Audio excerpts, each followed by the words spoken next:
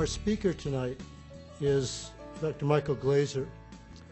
Um, he is the author of eight collections of poetry himself, the editor of many anthologies. He is the former poet laureate of the state of Maryland, um, an accomplished poet for over 30 years. What, in my mind, always connects him to Lucille is that he is somebody who, over that, that long period of, of writing poetry, of disseminating poetry, of being a passionate advocate for poetry in the community, always writes poetry that is not afraid to be personal, but is never only personal. It has the courage to bring us human moments of love, love's failures and triumphs that we all share. In that, I think he shared a quality with Lucille Clifton that was, that was a part, a part of the friendship that knit them for so many years. Michael is the, uh, one of the editors of the collection of Lucille Clifton's poetry that has just come out uh, in September. This is her life work. It's a, it's a wonderful anthology. Uh, just found out today that Publishers Weekly named it one of the best books of, of 2012. It is uh, something I, on sale out there, and I, and I uh, urge you to pick up a copy. One of, one of our conversations before the reading um, with, with Neil, Neil was talking about being without power for about 24 hours during the last hurricane, and therefore with a lantern sitting and reading the book from cover to cover, reading the poetry from cover to cover. And he described it as uh, something, something because of those circumstances, and you know, you're, you're forced suddenly to be out of that normal routine of things you have to do and have to get done, and you know, have to put your attention to. Because of that, that vacation from the normal, It's a great way to look at the inconvenience of a hurricane. You know? Um, because of that vacation from the normal, he was, he was able to do that and felt like it put him into a different place. It put him into a, a more peaceful place. And that's something that poetry can do. Um, Michael's friendship with Lucille is something that, that I always think of with, uh, with affection and with awe and with love. He was someone who eased her in her life.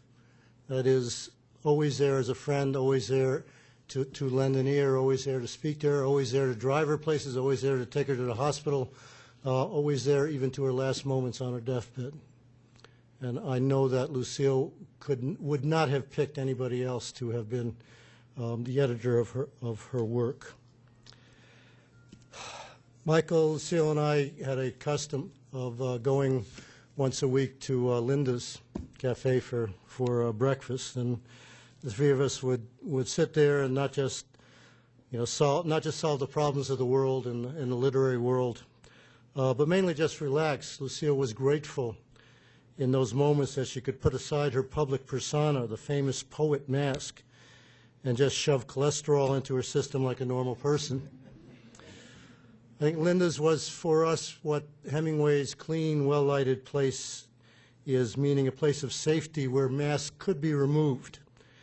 And what was revealed underneath was accepted and love.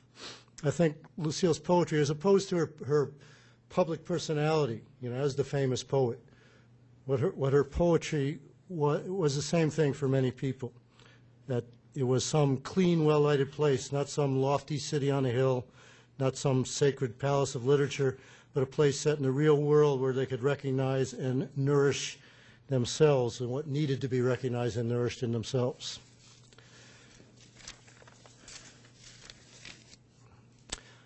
This is a poem by Lucille. I'm going to take a little Michael's time and read one. It's called Fury for Mama.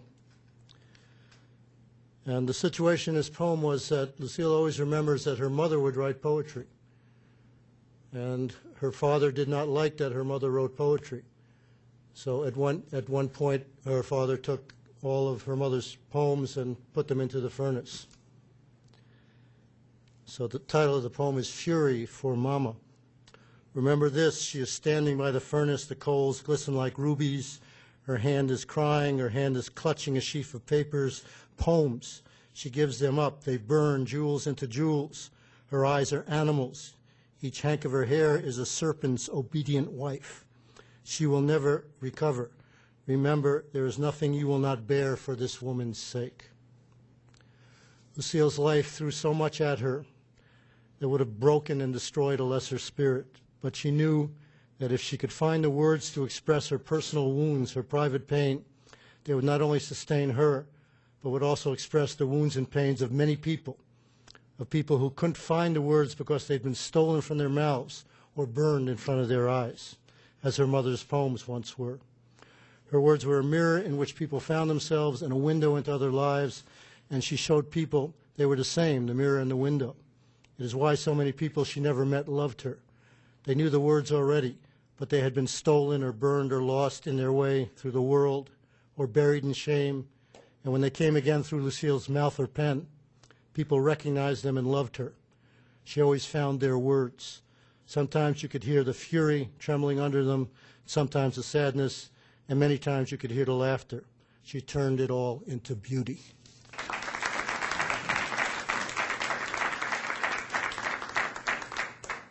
Thank you all for being here and for coming to share with me a remembrance of and reflection about our friend and colleague and mentor, Lucille Clifton. Her life and poetry touched many of us. She was a woman whose work continues to carry forward her spirit and her commitment to truth and justice and compassion. Lucille was kind and thoughtful and courageous. She was brave personally, brave both as a teacher and a poet, and brave politically as a truth teller, as one who used poetry to bear witness to what she saw and understood. She chose for herself the larger task of going outside the often self absorbed and privileged terrain of many contemporary poets, and chose rather to live and write from a landscape where others live the oppressed and discriminated against, the workers and maids, the abused and the sick, the revolutionaries and the executed, the forgotten and the ignored. There is no calm center, no rest in Lucille's poetry. We're jostled awake again and again by the starkness and clarity of her concerns and her language even when her work is humorous, it has an edge that moves it from the merely funny into the insightful and powerful. So, what I'd like to do this evening is try to pull together a number of Lucille's poems, weave them with the purpose of illustrating why her work is so important and deeply valued by so many. So, let me begin with one of her early poems, but newly collected in this new volume of her collected poems that um, expresses a theme that I think is found throughout her poetry. The poem is called All of Us Are All of Us.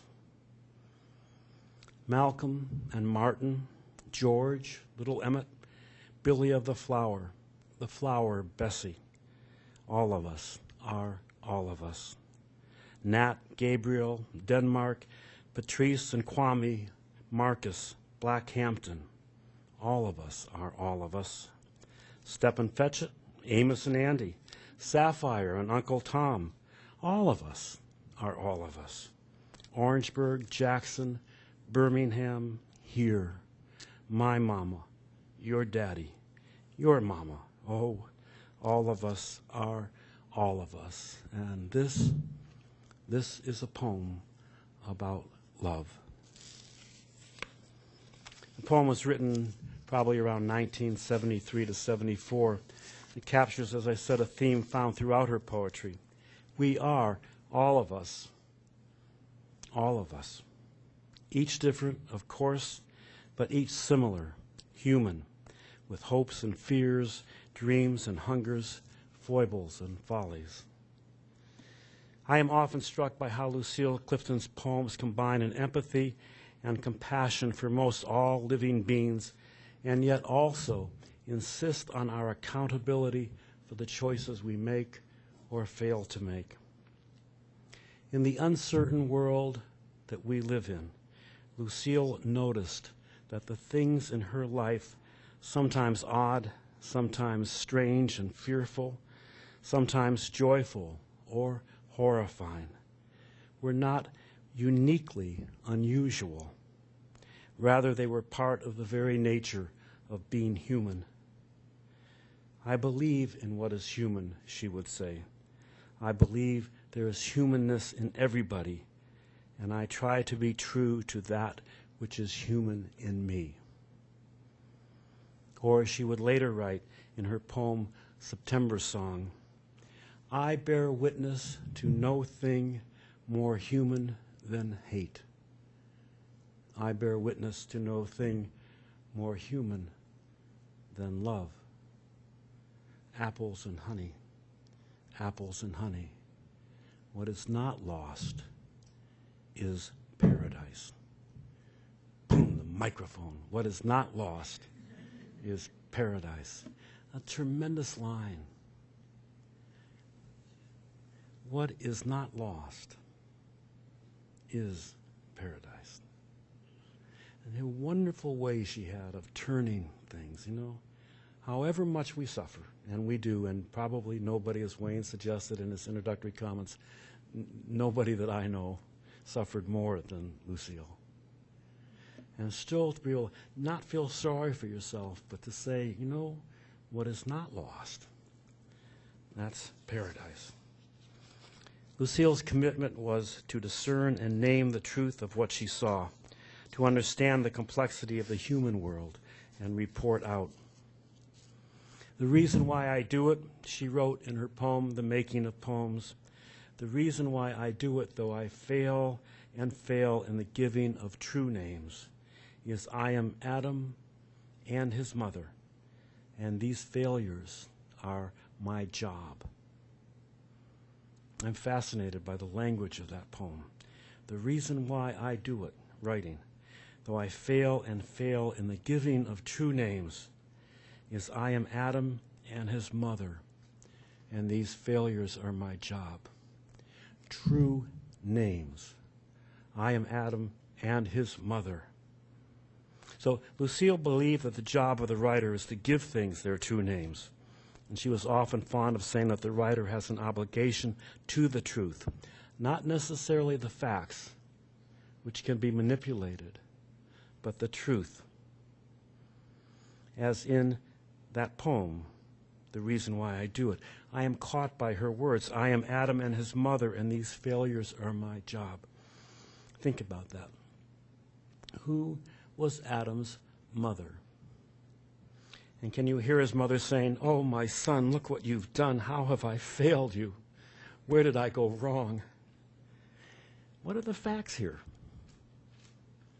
What is the truth? Another one of her poems that I treasure for its attention to language is Blessing the Boats at St. Mary's, which is influenced, of course, by the annual blessing of the fleet at St. Clement's Island and also, I'm sure, by the Irish blessing, may the road rise up to meet you, may the wind be ever at your back. Lucille's poem reads as follows Blessing the boats at St. Mary's. May the tide that is entering even now the lip of our understanding carry you out beyond the face of fear. May you kiss the wind, then turn from it, certain that it will love your back. May you open your eyes to water, water waving forever. And may you, in your innocence, sail through this to that. A lovely poem, a lovely blessing. The language that intrigues me is the line, May you, in your innocence, sail through this to that. I note the word innocence. What does that mean to you? How would it be different if she had written, May you, in your ignorance, sail through this to that? What is the difference? A great joy of reading a good poet is that the words you know are chosen carefully. Why did she choose innocence? What's the difference between that and ignorance? As a teacher, Lucille liked to say that she wanted to make sure her students would never be able to say, Nobody ever told me. She would often require that her students read Howard Zinn's book, A People's History of the United States, a book which presents American history as seen through the eyes of the common people rather than the political and economic elite who traditionally have written our histories. As an example, when I was in school, I learned about manifest destiny and the great westward expansion. What Zinn's book teaches that I never learned in school is that manifest destiny embraced the genocide of the Native American peoples. In school, I learned about World War II and the horrible Japanese bombing of Pearl Harbor. But I never heard about what Zinn's book teaches of the horrible things America did to its Japanese citizens by rounding them up and placing them in so called relocation camps, which were actually internment camps and horrible places to have to live. Lucille wanted her students to know about these things. She wanted us all to be knowledgeable and aware. She especially wanted us to escape the ignorance that enables one to feel self righteous about the privilege and blessed lives most of us in America are able to live. Let me give you another brief example. After Lucille decided that she would stay at St. Mary's College, I can write there, you know, she said. She was always concerned where she was going to live, where she was going to work. Can I write there? If the answer was yep, it was okay. She could write at St. Mary's College. We were lucky. The college, after she decided she'd stay, the college found her a home on the water. The college was very proud to be able to provide her with such a wonderful location. She scoffed a little. And while she grew to enjoy living on the water, she said at first, Black people don't like water. That's a white person's thing. I can't even swim. So think about that. Why would Lucille, an African American, not be thrilled to live on the water? Listen to her poem. Her poem. Shh. Listen to her poem, Slave Ships. This is a poem about three ships that took free people, free people from Africa, captured, chained, and bound, brought them across the ocean, and dumped them in the United States to be sold as slaves. The names of these ships were Jesus, Angel, and Grace of God. These ships were named Jesus, Angel, and Grace of God. Strikes me as I say that now that's a perfect example of ignorance. Not innocence, ignorance. Slave ships, Lucille's poem. Loaded like spoons into the belly of Jesus, where we lay for weeks, for months, in the sweat and stink of our own breathing. Jesus, why do you not protect us, chained to the heart of the angel, where the prayers we never tell are hot and red as our bloody ankles? Jesus, angel, can these be men who vomit us out from ships called Jesus, angel, grace of God, onto a heathen country? Jesus, angel, ever again. Can this tongue speak? Can these bones walk? Grace of God, can this sin live?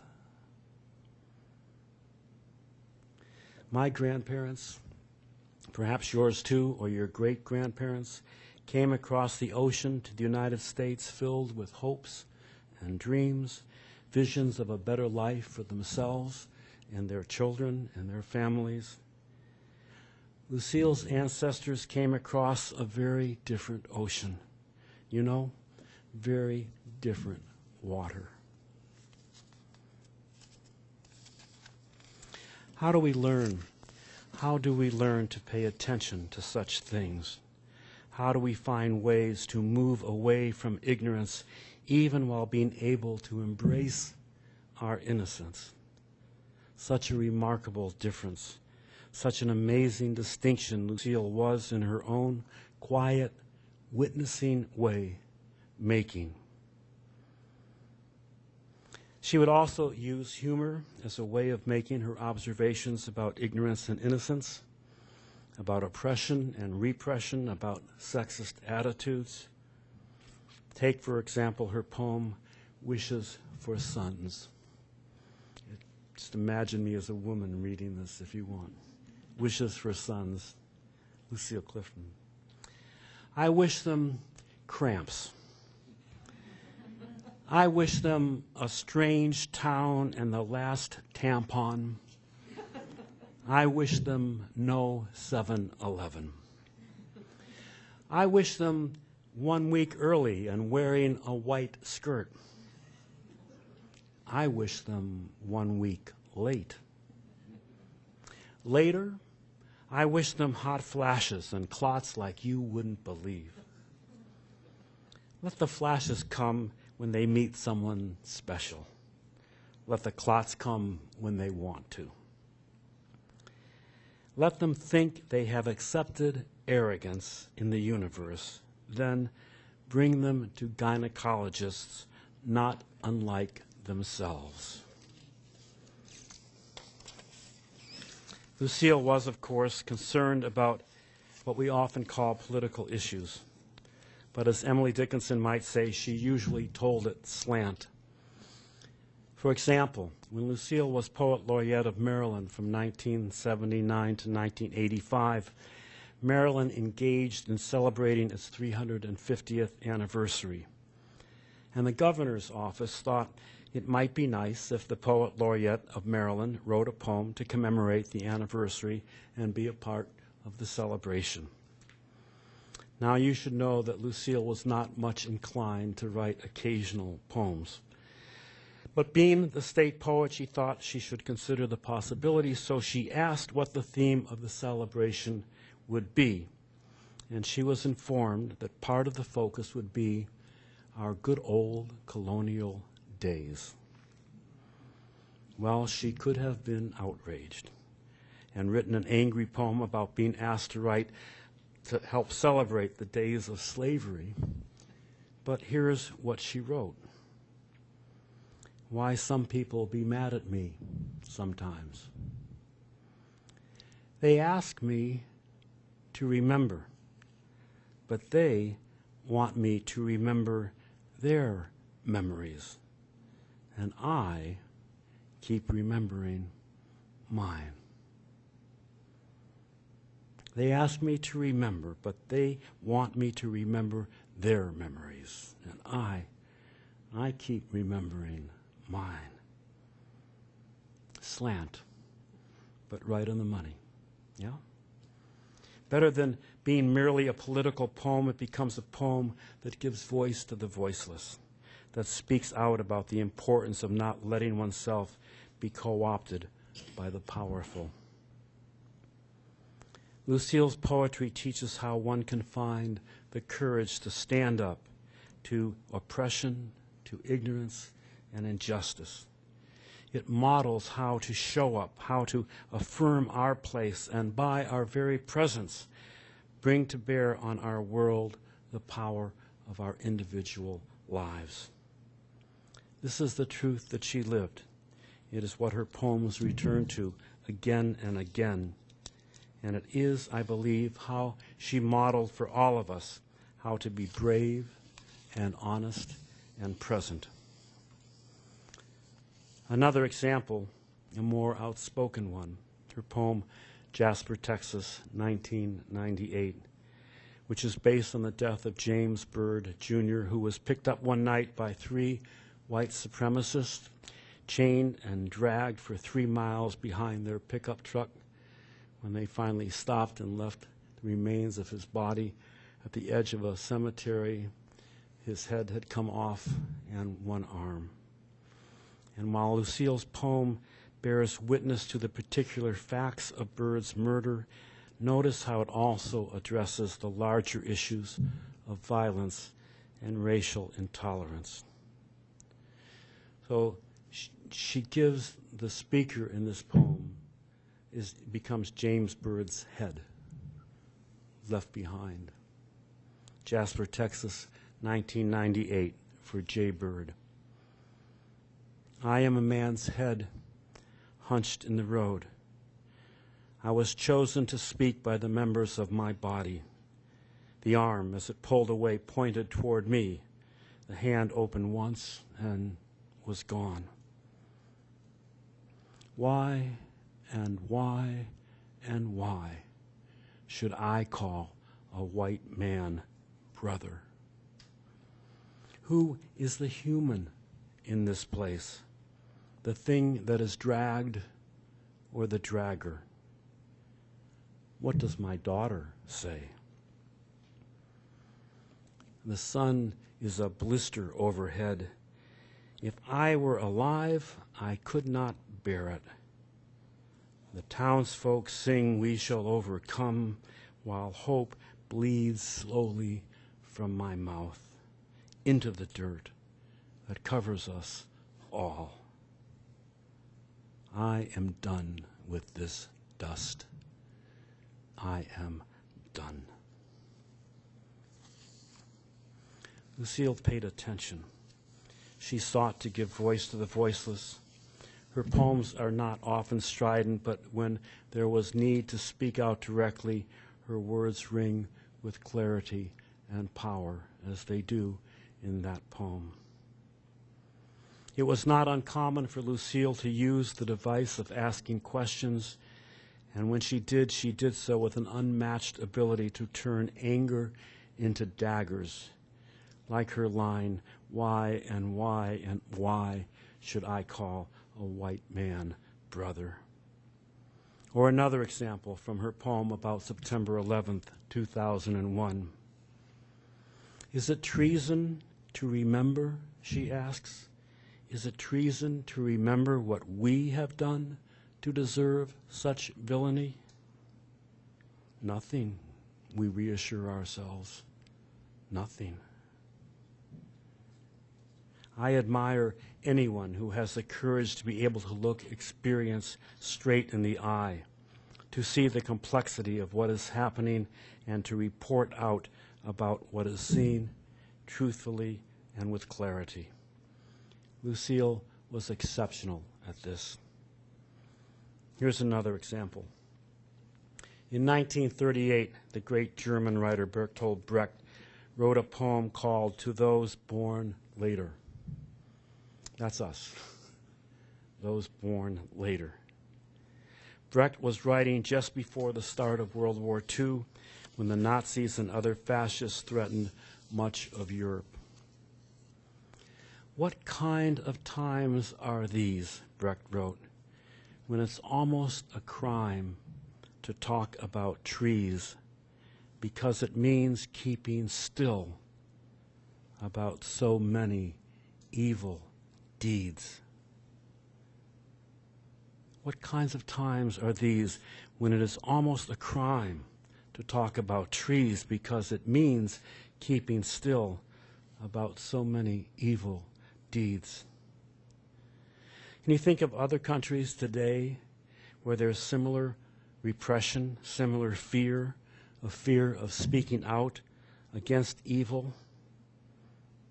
Where that fear grips the truth teller, the consequences being large. Adrienne Rich, a sister truth teller and friend of Lucille's, took that line as the title of her own poem, What Kinds of Times Are These? She wrote about a beautiful, historic place off of an old revolutionary road near a meeting house abandoned by the persecuted who disappeared into those shadows. It seems fairly obvious to me that the meeting house represents the desire for freedom among those who fought in the Revolutionary War. It is a house, Rich wrote, that others want to buy, sell, make disappear. And then she writes, and I won't tell you where it is, so why do I tell you anything? Because you still listen. Because in times like these, to have you listen at all, it is necessary to talk about trees. This is a theme that Lucille herself picked up on in her untitled poem from the terrible stories that goes like this. Surely I am able to write poems celebrating grass and how the blue in the sky can flow green or red, and the waters lean against the Chesapeake shore like a familiar. Poems about nature and landscape, surely. But whenever I begin, the trees wave their knotted branches, and why is there under that poem always an other poem? Do you note the use of the dagger sharp question at the end? Why is there always under that poem another poem? Do you see again the struggle to enjoy living on the water, looking out at the tree lined landscape? We look at the branches and see them dancing in the breeze. But Lucille, because she does not ignore her people's history, sees bodies swinging as they are hung, lynched from those branches.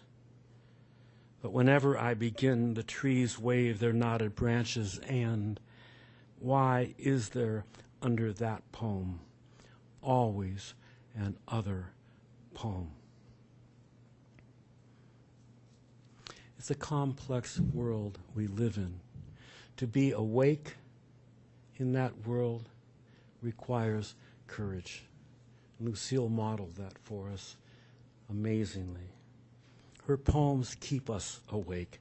They call us into the light and insist that we open that door, that we begin to understand that we live in a complex both and rather than a simple either or world.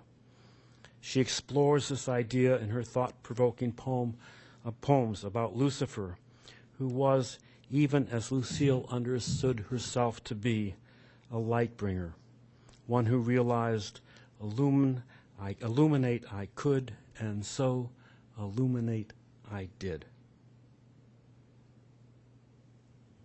Fascinating. Lucifer, illuminate I could, and so illuminate I did. No either or there. Lucifer's not just a bad guy. She's suggesting, and maybe truthfully, that what Lucifer illuminated is the Lucifer in us. And Lucille connected because Lucille's name means light. Lucifer, as you know, was a fallen angel, but originally an angel of light. I try to remember, Lucille said, that there was light in Lucifer. There's Lucille in Lucifer, and there's Lucifer in Lucille. Her courage to embrace the duality of our world enabled her to use the inherent tensions of that duality redemptively, to explore the uncomfortable and the often unspoken. And she wanted that for all of us for all of us. Aristotle wrote that the unexamined life is not worth living. Lucille discovered that for herself, and she wanted us to discover it for ourselves. As she wrote in this poem, The Light That Came to Lucille Clifton. The light that came to Lucille Clifton came in a shift of knowing when even her fondest sureties faded away. It was the summer she understood that she had not understood and was not mistress even of her own off eye. Then the man escaped, throwing away his tie, and the children grew legs and started walking, and she could see the peril of an unexamined life. She closed her eyes, afraid to look, afraid to look for, for her authenticity. But the light insists on itself in the world. A voice from the non dead past started talking. She closed her ears, and it spelled out in her hand You might as well answer the door, my child. The truth is furiously knocking. You might as well answer the door, my child. The truth is furiously knocking. One final story. Another way that I think Lucille is to be admired for her bravery can be seen in her writing. She created her own style. She did not use capitalization. She used very little punctuation and instead crafted her lines and used sound and space with such skill that her poems on the page tell us how they want to be read. And unlike so many poems that we assign in schools, she wrote to be understood. You, you heard me correctly. Unlike so many poems you are assigned in school, Lucille wrote to be understood. She turned her back on the old masters, the old ways of filling poems with allusions and symbols and metaphors, and rather aimed for clarity. As Michael Collier, another former poet laureate of Maryland, has written, Clifton's poems are direct and accessible. She employs the kind of language that Marianne Moore approvingly called plain American, which cats and dogs can read. The sparing use of punctuation and capital letters gives the poem a modest appearance on the page. She does this to capture the immediacy of contemporary speech and to resist the old hierarchies of verse. I think that's a fairly accurate description of what Lucille was doing. And the story I heard is this.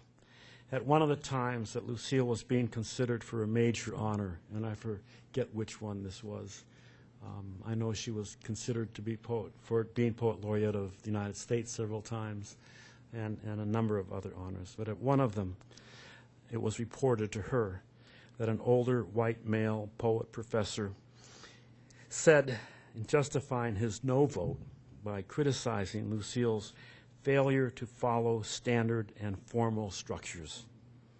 He said that while Lucille was good, she was not a master. And thus, the following poem Study the Masters. Study the Masters.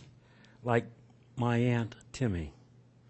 It was her iron, or one like hers, that smoothed the sheets the master poet slept on. Home or hotel, what matters is he lay himself down on her handiwork and dreamed. She dreamed too. Words, some Cherokee, some Maasai, some huge and particular as hope. If you had heard her chanting as she ironed, you would understand form and line and discipline and order and America. Whoa. Slant. Powerful. Well, let me end my comments by sharing with you two of my favorite Lucille Clifton poems, one older and one new. Both of these poems contain the observations, the insight, and the wisdom that so many of us treasure Lucille's poetry for, the generosity of spirit and truth telling that mark her work and make her both unique and special among poets. The first is a poem entitled We Are Running from her book Quilting, poem that was written probably around 1989. We are running. We are running and running, and time is clocking us from the edge like an only daughter. Our mothers stream before us, cradling their breasts in their hands. Oh, pray that what we want is worth this running. Pray that what we're running toward is what we want. Oh, pray that what we want is worth this running. Pray that we're, what we're running what did I just read? I'm going to start that over. Pray that what we want is worth this running. Pray that what we're running toward is what we want. It's just nice to have that. Stop and ask myself. Steve Jobs, in his 2006 commencement address at Stanford University, which you can find by Googling it, it's a lovely address. It was when he thought he was freed from the pancreatic cancer that eventually killed him. But he was writing about what he learned from that experience. And one of the things he says in that says, if I wake up three mornings in a row and I'm not happy about what I have to do that day, I stop myself and say, what's wrong with my life? That's brave. I'd be afraid to say that. Pray that what we want is worth this running. Pray that what we're running toward is what we want. And finally, a poem that had not been published until her collected poems came out, a poem written sometime around 2006. It's a poem probably in the voice of God speaking to his son Adam, who must have been angry about something. Or maybe the poem is Lucille speaking to me, Michael, angry about something, because certainly Adam and I would agree there is in our world so much to be angry about. Listen to the last poem from her now published Book of Days God speak, kingdom come you with your point blank fury. What if I told you this is all there ever was? This earth, this garden, this woman, this one precious, perishable kingdom. You with your point blank fury. What if I told you this is all there ever was? This earth, this garden, this woman, this one precious, perishable kingdom. Lucille Clifton. Thank you.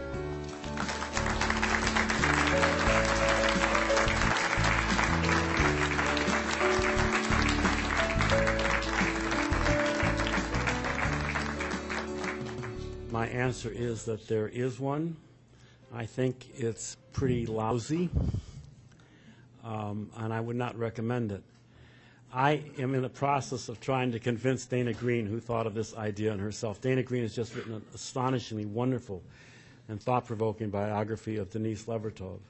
And Dana was at St. Mary's and knew Lucille and is contemplating doing that. It's very difficult work. Um, you know, to write a good biography, you, you have to get into somebody's life. And as I said, I mean, Lucille lived a very painful life. You can't do a good job unless you go there and live with her and then try to report out differently than she did. Um, but Dana's interested in doing that, and, um, and I hope she will. But the answer right now is no, there's not.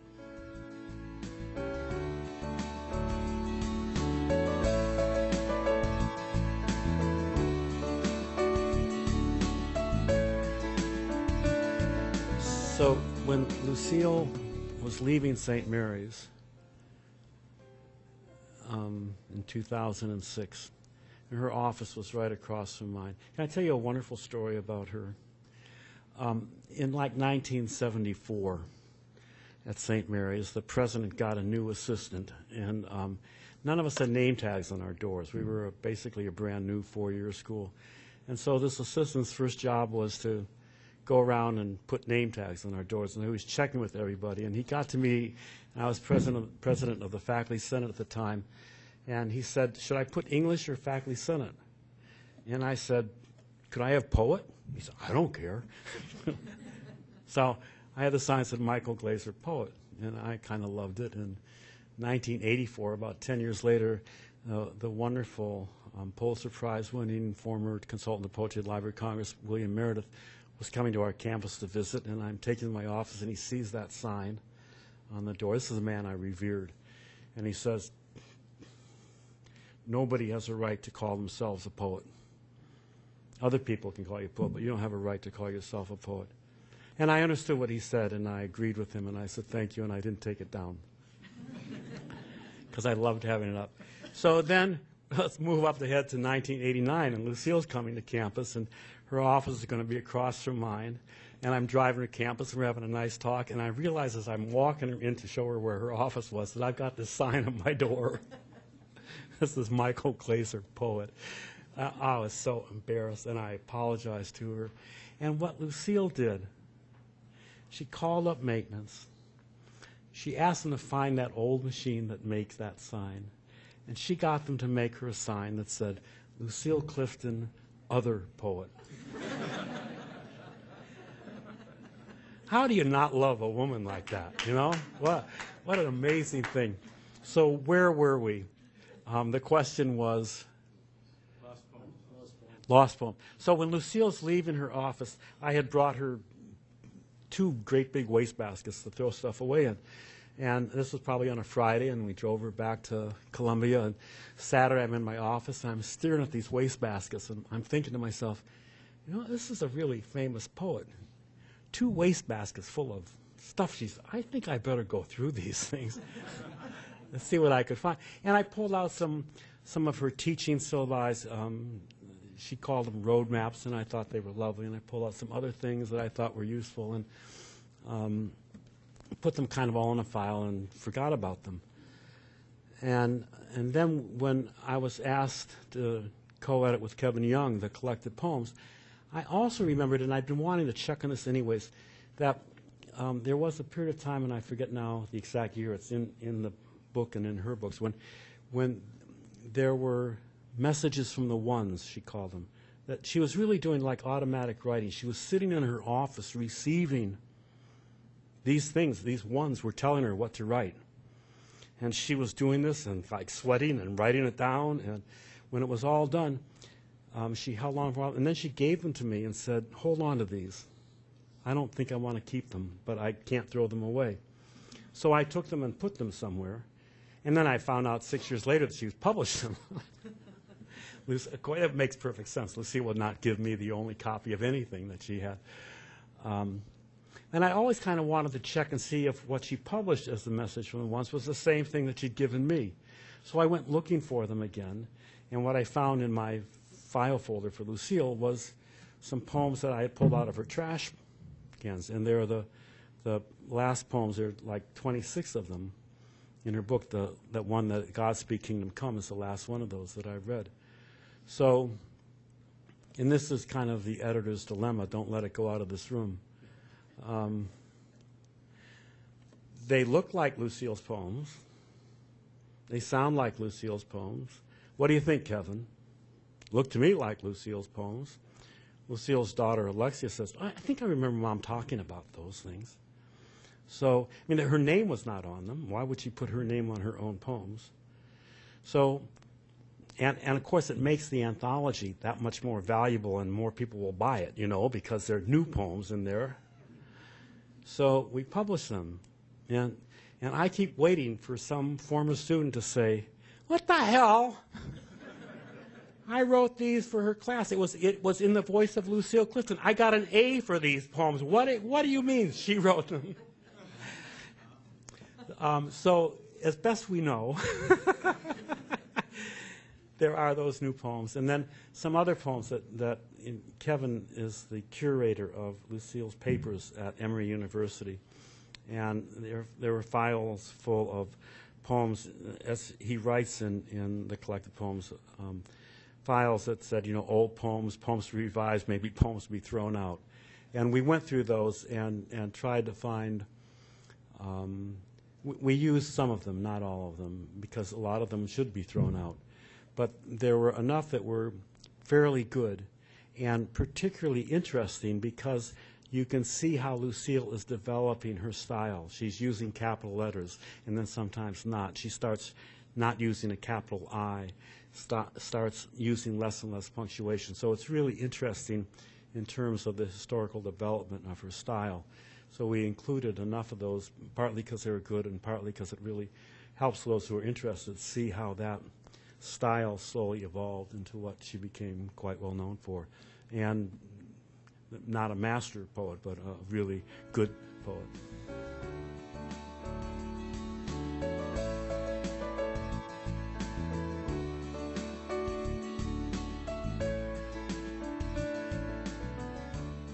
That's the question I like to ask students. What are you doing asking me that?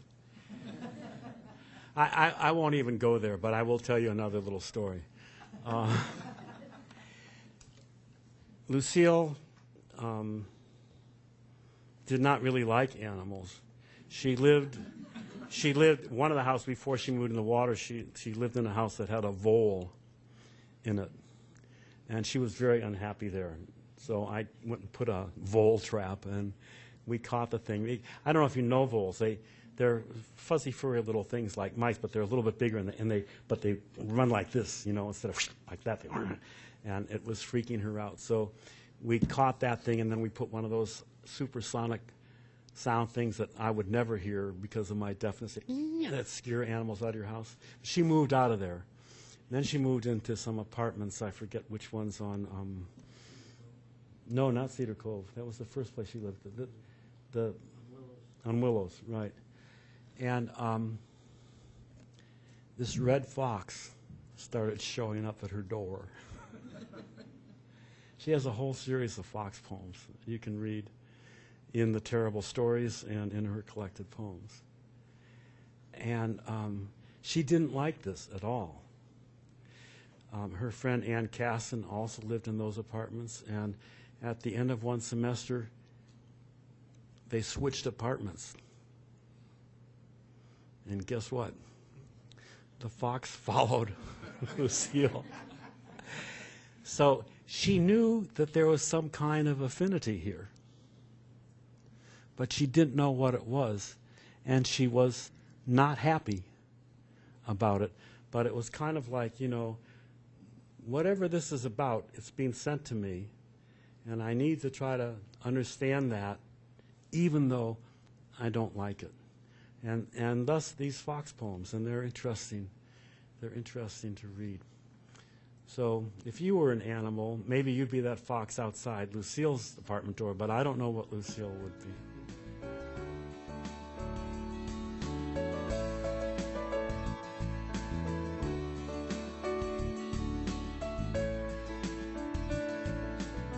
Thank you for that question. Because I was most surprised, um, very clearly. It, when Lucille gave readings, um, she was the most generous, interesting, kind person. She'd read poems about white racists, and she'd say things like, "Now, this this isn't about anybody in here. We understand that, but this, you know." And so she could, would enable me, and I think lots of other white people, to feel like we're all part of this. We're all in this together. We are trying to make a better world together. She's not criticizing me. I went to a reading by the poet Ai I once, who was a very fierce feminist and black poet. And I, I just sat there cringing in my seat, covering my groin because I was afraid I was going to get assassinated or castrated or both. Um, Lucille never made you feel that way. Um, and she was funny. And she'd read her poems, like the, the one I read about um, Wishes for My Sons, and other, other feminist poems. Um, and you'd, you'd laugh and you'd celebrate with her. Um, so in reading all of her poems through, which I had never really done before, and I did three times, you know, um, I was so struck by how consistently they don't let up demanding that I, as a reader, be accountable for what I'm thinking, what I'm doing, how I'm seeing the world, how I'm not seeing the world. That the, the poems themselves have none of that softness that she always had at her readings. And I was very impressed by that. She doesn't let up for a second. There's such integrity in how she lived and wrote and put, for, put forward her truth in the world. I was, I was startled by it um, and, and also, in retrospect, delighted by it. I think the process of reading through her poems several times has made me a much better poet, much more aware of the language I choose, what I'm saying, when I'm BSing, when I'm telling the truth. So that was, that was the great joy of, of doing this. All right. Thanks so much.